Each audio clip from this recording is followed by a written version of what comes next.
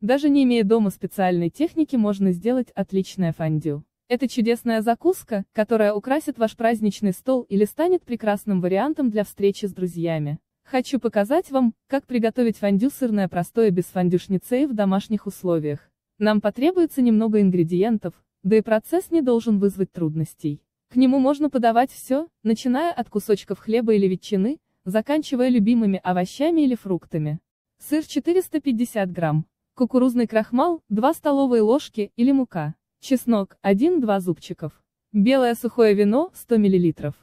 Сок лимона, 1 столовая ложка. Сухая горчица, 1 дробь 2 чайных ложки, не обязательно. Мускатный орех, 1 щепотка, плюс соль по желанию. Количество порций, 6, 8, 1. Сыр натрите на терке. Лучше всего взять 2-3 вида. Добавьте крахмал и перемешайте. Удобно делать это в пакете. 2.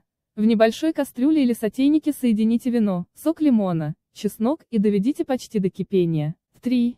Небольшими порциями добавляйте сыр, помешивая. Томите на очень медленном огне. 4. В конце добавьте горчицу и мускатный орех для аромата. Снимите с огня и сразу же подавайте к столу.